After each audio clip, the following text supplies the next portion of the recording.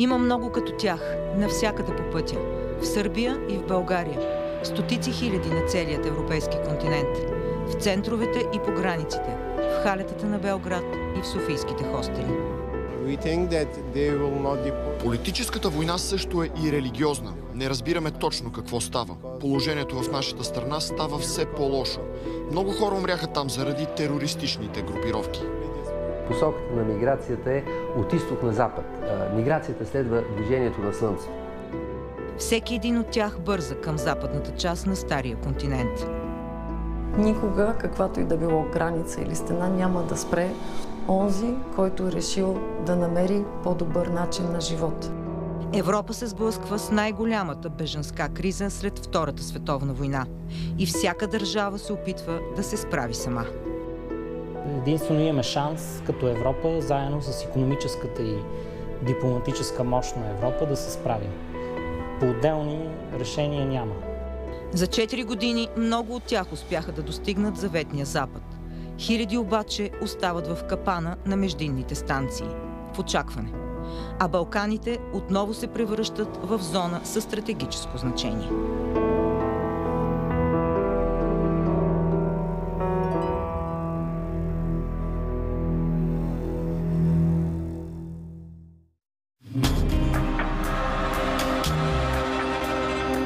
Вечер в Белград. Тези хора сме показвали хиляди пъти в българските новини и в световните. Нито един от тях не знае колко време ще остане в Сърбия. Най-много са афганистанците и пакистанците. Идват от Македония и България. Настаняват се тук, защото не вярват на никого. Животът им се събира в куфър. Тук съм, защото границите са наблизо. Няма друг начин. Няма къде да отидем. Няма да ходим в Германия, защото там вече не приемат мигранти. По-добре да отида в друга европейска страна, която не гони хората.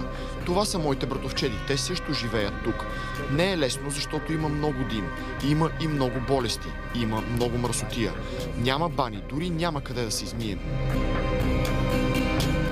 Стотици като него намират убежище в халетата по стария път за Калотина след Драгоман. Заради мърсотията и болестите, семействата се връщат обратно до границата. Това е единственият новопостроен център за мигранти в Сърбия през миналата година. Стойността му е 200 000 евро от Европейския съюз и Германия.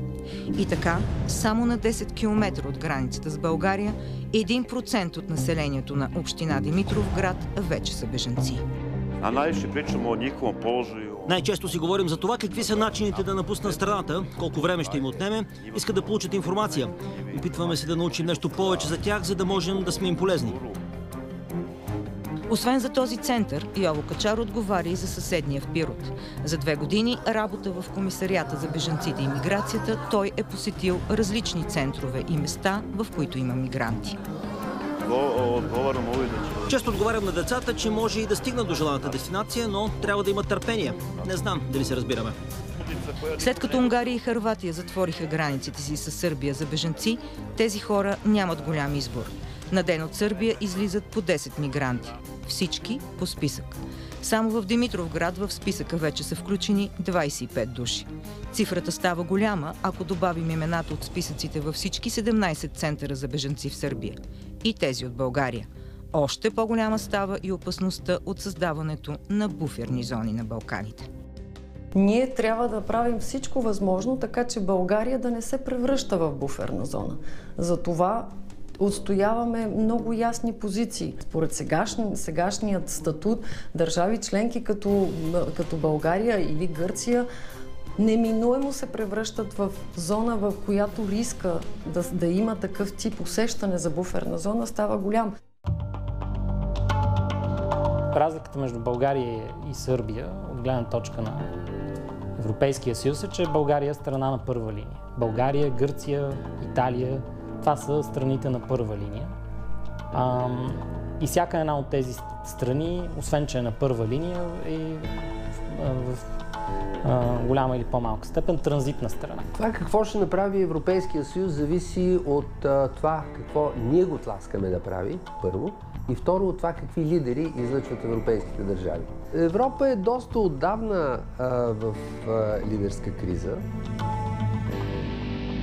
7300 са мигрантите в Сърбия в момента. От тях около 1100 остават в халетата. На собствена отговорност. Все още се надяват, че нелегалните трафиканти ще ги изведат по тайните пътеки. Това са хора, които нямат голям шанс да получат беженски статут. Техният голям страх е страхът от депортация.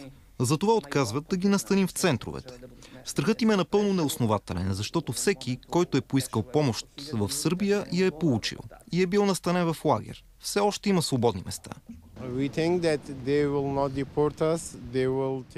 Мислим, че няма да ни депортират. Ще ни приемат, защото сме тук заради политическата и гражданската война. Идваме тук в търсене на мир, за да можем да живеем спокойно и да имаме своето светло бъдеще. И докато те мръзнат по халетата, други мръзнат на браздата и пазят границата между Сърбия и България. У нас официално в момента има 3800 мигранти, но колко са в хостелите и на квартири, в момента никой не знае. Само тази седмица на няколко километра от тук, час след полунощ, граничните патрули са задържали голяма група мигранти. В продължение на 40 минути нашите гранични полицаи бяха отвънка на студа, за да могат вътре да настанат в служебните автомобили жените и децата на топ, защото бяха измръзнали и бяха просто на ръба на силите си. Не е приятно при минус 18 градуса да докарат малките деца да те гледат така измръзнали, свили се и сгушили са в майките си и гледат жално и чакат помощ. Получавате тази помощ. Аз мисля, че в този случай те са благодарни. Комисар Марин Колев и екипът му пази цялата почти 400 километрова граница между България и Сърбия. За близо 34 години служба в МВР никога не е виждал такъв беженски поток. Има групи, които патрулите задържат по няколко пъти. Голяма част от тях споделя, че са загубили близки и роднини в конфликтите. Търсят нещо ново, търсят спокойствие, търсят най-вече сигурност за живота си. В същото време и няма доверие. Аз не знам даже въобще дали ще имат няко, на някой доверие, може би ако стигнат в Германия с, знаете, там с просултите реплики, мама Меркел, защото някой път и тук изпуска тази дума. Наблюденията и на Йол Качари и на Марин Колев показват, че най-важният въпрос за овладяване на ситуацията с мигрантите в момента е липсата на обща политика между отделните европейски държави. Унгарците водят съвсем независима, самостоятелна политика. Една ограда, втора ограда, тотално недопускане, броят ги по 10 при условие, че са хиляди в Сърбия, което не е решение на въпроса. Това са някакви мерки, които за пред Европейски съюз правим нещо, но в същото време нищо не правим. Ситуацията не решава с тези действия. А, Полша правителството е ново с така дългосрочен мандат и с много крайна а, риторика и визия за това каква трябва да е мигрантската а, политика на Европейския съюз. А, тази година предстоят важни избори в а, доста страни, в Германия, в Франция, където също а, е възможно нали, да така, популизма и антимигрантската риторика да вземат връх. Трябва да имаме много ясно съзнание, че популизма и националистическата вълна, която наблюдаваме, включително и в страните, които цитираме, е феномен, който иска от нас мобилизиран отговор.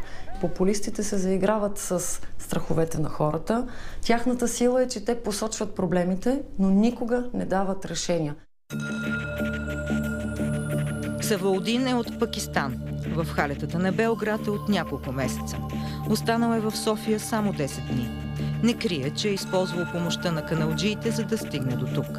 И отказва да влезе в лагер на територията на Сърбия. Like Аз не харесвам България.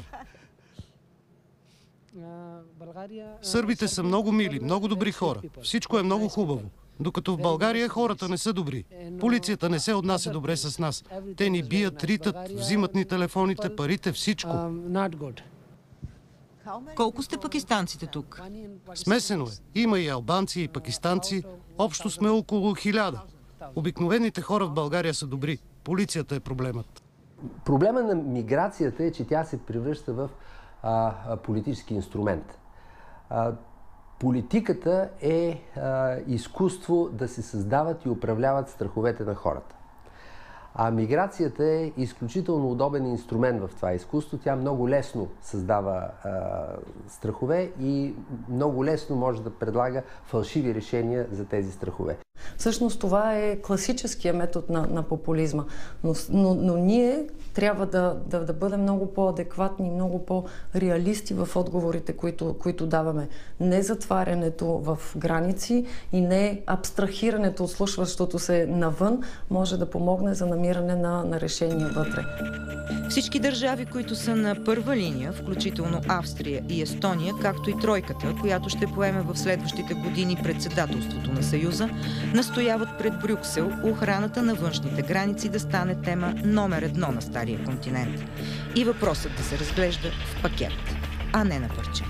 Съседна Сърбия, тя по никакъв начин не е обвързана да следва тези а, точни правила, които ние трябва да, да следваме. А, няма никаква връзка между това дали някой е подал молба за беженец тук или е подал молба за беженец в Сърбия. Двете не са свързани. Затова координацията между Европейския съюз и Балканските страни още по-сложна, отколкото координацията между европейските страни, които все пак трябва да следват едни и същи правила. Най-ранната миграция е започнала преди 50 000 години. От Африка към останалата част на света. След последните военни конфликти в Близкият изток, Европа е приела 1 милион и 800 хиляди бежанци. Математиката показва, че през следващите 20 години населението в Африка ще достигне до 2,5 милиарда души. Очаква се поне половината от тях да поискат да дойдат да живеят в Европа. Представете си едно село от 100 души и в него тръгнат хиляда мигранта да се, да се заселят. Ами какво ще стане от това село? Това ще изчезне. И представете си обратния вариант. Е един град от 10 000 души, който а, се запитва може да поеме 100 мигранти. Ами може да поеме. 10 000 души могат да поемат и да интегрират 100 човека. Египет има 5 милиона бежанци. Тези бежанци дори не са в лагери. Те са на територията на страната. Риска, разбира се, за това една част от тях да искат да дойдат в Европа, дори по-голямата е голям. Затова е важно да работим тясно с тази страна, за това да има обмен на информация в рамките на Frontex, да има съвместни операции за идентифициране на маршрутите на нелегалните трафиканти, да има много ясни наказателни, наказателни присъди за хората, които се занимават с това. Четири години след началото на беженската вълна в Европа. Остават 4 месеца до поредната пролет. 4 месеца до новата беженска вълна. Йово Качар споделя, че комисариатът се опитва да помогне на всички беженци в Сърбия. В един от лагерите е наел двама мигранти да помагат в кухнята. А в най-близкия център до Белград, в Кърняче, жените даже могат да работят. Мястото е добро. Живеем тук от 5 месеца и чакаме да ни пуснат. Иска ми се да остана тук за винаги, защото това е най-доброто място за нас. Има много удобства, като пространство, храна, дрехи, всичко от което се нуждаем. Затова се чувстваме добре тук. Нашият шеф също е добър човек, защото помага на всички. Ядем по три пъти на ден, за което сме му много благодарни. А сме тръгнали към Германия. Там е моето семейство. Разбрахме се да отидем там, просто за да бъдем заедно заедно. Всеки път се опитваме, но не можем винаги да помогнем на всеки човек тук, във всеки отделен случай. Трудно е да се разбере кое е вярната страна, кое е истина и кое не е. Истината за тях е може би друга. Те смятат, че щом искат, трябва да минат. Ние не можем да го кажем това. И даже да няма война, те ще тръгнат. Всеки търси хубавия живот и то с цената на всичко, за съжаление. Мисля, че ще има миграция винаги миграцията вече не може да се спре.